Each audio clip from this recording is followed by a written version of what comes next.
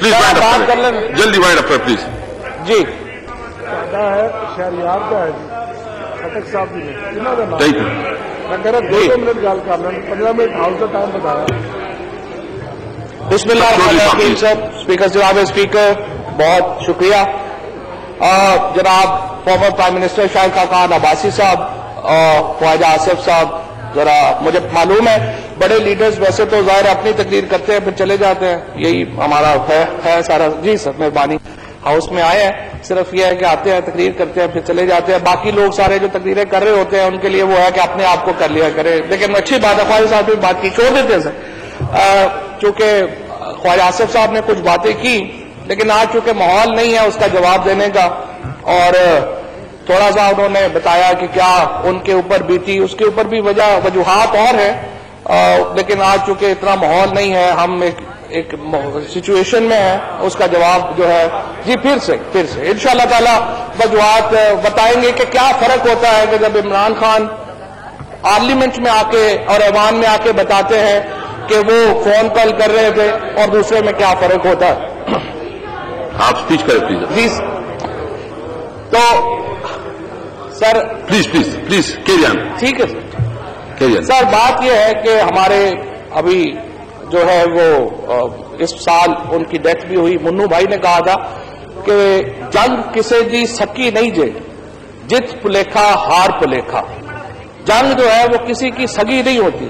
اگر جیت جاؤ گے تو وہ بھی ایک ایلیوژن ہے، ہار جاؤ گے تو بھی ایک ایلیوژن ہے، کیونکہ تباہی ہے ہر طرف۔ پاکستان میں اس بات پر اتفاق رائے۔ پاکستان میں اپوزیشن کی بھی ہم نے سارے گفتگو سنی ہے۔ ہم نے حکومت کے طرف سے بھی ساری گفتگو سنی ہے۔ اور پھر جس طریقے سے فارن منسٹر صاحب نے اس سارے ہاؤس کو اعتماد میں لیا، کل پرائم منسٹر صاحب نے اس ہاؤس کو اعتماد میں لیا۔ پاکستان میں یہ کنسنسس ہے کہ ہم جنگ نہیں چاہتے اور یہ ایک قومی کنسنسس ہے۔ لیکن سوال یہ ہے کہ کیا ہندوستان میں بھی یہ کنسنسس ہے؟ جواب یہ ہے کہ ہندوستان میں یہ کنسنسس نہیں ہے۔ پچھلے سال دسمبر سے ایسی خبریں آ رہی تھیں کہ ہندوستان میں جو نریندر مودی ہیں، وہ الیکشن سے پہلے ہندوستان کے اندر کچھ ایسا ایونٹ بنانا چاہتے ہیں، پاکستان کے ساتھ کچھ ایسے معاملات چلانا چاہتے ہیں کہ جس سے ایک اگریشن کا ماحول بنے۔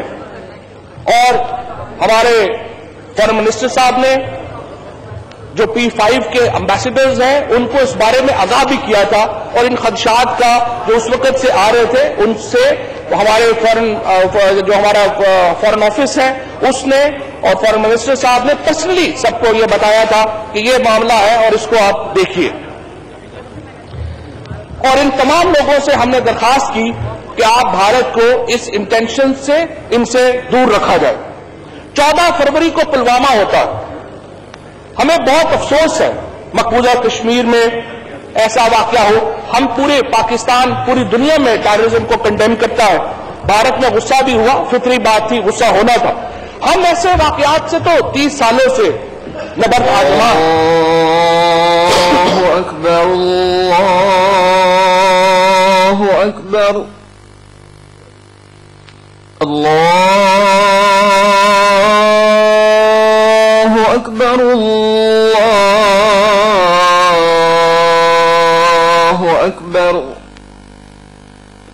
أشهد أن لا إله إلا الله.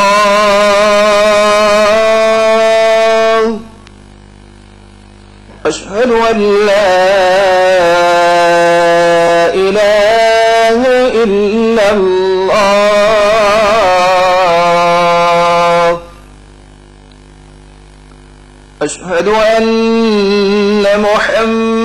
رسول الله.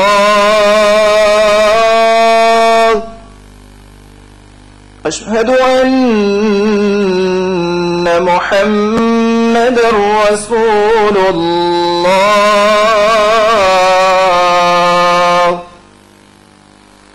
حي على الصلاة.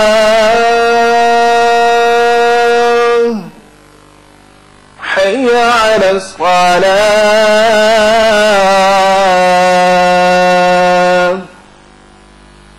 حي على الفلاح.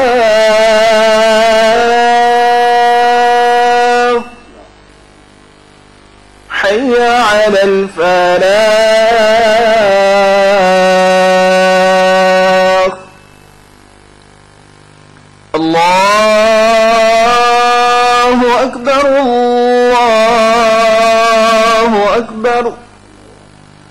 لا إله إلا الله. ہاں جی فواد صاحب. سر بھارت میں پلوامہ ہوا اس سے غصہ جو ہے وہ ایک فطری بات تھی۔ یہ سب سے بڑا آرمی کا لاس تھا انیس سو سینتالیس کے بعد بھارت میں جو بھی ہوا۔ بھارت میں اور بالکل جس طرح سے خواجہ آصف صاحب نے بالکل درست کہا بھارت کو انٹرسپیکشن کی بھی ضرورت تھی۔ پلوامہ کے جس علاقے میں یہ واقعہ ہوا، اس علاقے میں سو سے زیادہ چھوٹے بچوں کو شہید کیا گیا۔ وہاں پر خواتین کی آبر و ریزی کے واقعات، وہاں پر کشمیریوں کے اوپر ظلم و جبر کے واقعات عام ہیں۔ اور بھارت کو ایک انٹرسپیکشن چاہیے تھی، ایک انورڈ ان کو دیکھنا چاہیے تھا۔ لیکن انہوں نے یہ بہتر سمجھا کہ تمام تر ملبہ پاکستان کے اوپر ڈال دیا جائے۔ پاکستان ہم سے بڑا، ہم نے ان واقعات سے ہم سے زیادہ دہشت گردی کو کس نے اور فیس کیا؟ ستر ہزار شہید ہمارا، ہمیں پاکستان میں ہمیں دہشت گردی کے واقعات میں ملا۔ جنرل ثناء اللہ نیازی شہید سے لے کے سپاہی اشفاق تک ہم نے لاشیں اٹھائی۔ ہم نے خود جیلم میں جناب اسپیکر تین سو سینتالیس شہید اس اس زمین کے اوپر، ہم ضلع جیلم کے لوگوں نے ہمارا کوئی قبرستان نہیں ہے جیلم میں جہاں پہ شہید دفن نہیں ہمارا کوئی گاؤں نہیں ہے جہاں پہ غازی نہیں ہے۔ اور ان شہداء کی وجہ سے ہے کہ آج سارے M N A, M N A's آپس میں بیٹھ کے گپے شپے بھی لگا لیتے ہیں، آپس میں باتیں بھی کر لیتے ہیں۔ محفوظ ماحول میں بھی بیٹھے ہیں۔ یہ ان شہداء کی قربانیوں کا صلہ ہے کہ جو ہمیں آج پاکستان میں آزادی میسر ہے۔ ہندوستان نے انٹرسپیکشن نہیں کی۔ انہوں نے ہر چیز ہماری طرف ڈالی۔ اس کا سب سے زیادہ نقصان جناب اسپیکر کشمیریوں کو ہو رہا ہے اور پنجابیوں کو ہو رہا ہے۔ دونوں طرف اگر جنگ ہوتی ہے تو سب سے زیادہ یا کشمیری سفر کرتے ہیں یا پنجابی سفر کرتے ہیں۔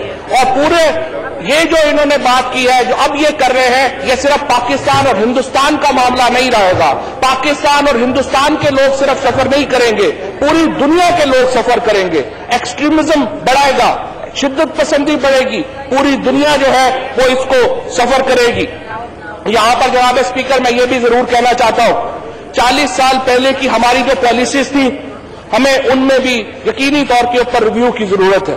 اور یقینی طور کے اوپر اس ایوان کو پاکستان میں شدت پسندی کے اوپر بھی ایک آواز اور یک جان اسی طرح ہی ہونا چاہیے، جس طرح یہ ایوان آج اس معاملے کے اوپر یکجان ہے۔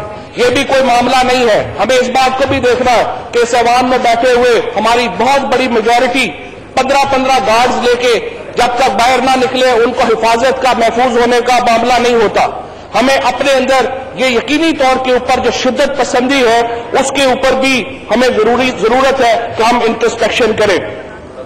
پرائم منسٹر صاحب نے جناب اسپیکر جب سے اقتدار سنبھالا ہے، انہوں نے ایک اسٹیٹس مین کا رول ادا کیا کل وہ یہاں تشریف لائے، انہوں نے پوری اپوزیشن کا شکریہ ادا کیا۔ پرائم منسٹر عمران خان کی قیادت میں ان چھ مہینوں میں پاکستان مشرق وسطی میں ایک اہم پلیئر بن کے ابھرا ہے۔ یہاں میں یہ بات تھوڑی سی واضح کرنا چاہتا ہوں۔ او آئی سی کے حوالے سے his royal highness Mohammed bin Zayed اور his royal highness Mohammed bin Salman اور سعودی عربیہ اور یو اے کے جو کردار کے اوپر جو کچھ بات ہوئی، میں یہ آپ کو بتانا چاہتا ہوں۔ اور فورن منسٹر صاحب سے بہتر یہ بات کوئی نہیں جانتا اور انہوں نے ہی سارے اس معاملے کو لیڈ بھی کیا ہے۔ جو یو اے ای کے حکمران ہیں، جو سعودی عربیہ کے حکمران ہیں، وہ پاکستان کے دوست ہیں، وہ پاکستان کے ہمدرد ہیں۔ جو او آئی سی میں معاملہ آیا وہ یقیناً ایک اس کی غلط فہمی ہے اس کو کافی ڈیٹیل سے پہلے جو ہے وہ فارن منسٹر صاحب نے بھی ایڈریس کیا ہے۔ ان کا معاملہ یہ تھا کہ شاید ہمیں ایک موقع مل جائے شکریہ۔ یہاں پر بات چیت کرنے کا جس کی وجہ سے بات چیت نہیں ہو سکی۔ جناب اسپیکر آج ہندوستان تقسیم ہے۔ آج پاکستان متحد ہے۔ ہمیں ہندوستان کے سین ایلیمنٹ سے بھی میں یہ گزارش کرنا چاہتا ہوں کہ آپ لوگ بھی اس جانسے میں کہ ایک آدمی کا الیکشن بن جائے، آپ اس جانسے میں نہ آئیں۔ اگر جنگ کا ماحول بنا، تو پاکستان کے لیے تو نقصان دہ ہے ہی ہے۔ ہندوستان بھی اس معاملے سے بچ نہیں پائے گا۔ آخر میں جناب اسپیکر میں پاکستان کی آرم فورسز کو، خصوصاً جنرل کمر باجوہ صاحب کو اور پاکستان کی ایئر فورس کو، جس بہادری کے ساتھ، جس انہوں نے جو ہے یہ معاملہ سارا اس کو پاکستان کی فورسز نے ڈیل کیا۔ اس سے پورے پاکستان کا سر فخر سے بلند ہو گیا ہے اور پورا ایوان پاکستان کی افواج کے پیچھے کھڑا ہے۔ انشاءاللہ تعالی ایک فیصد تلائی تھینک یو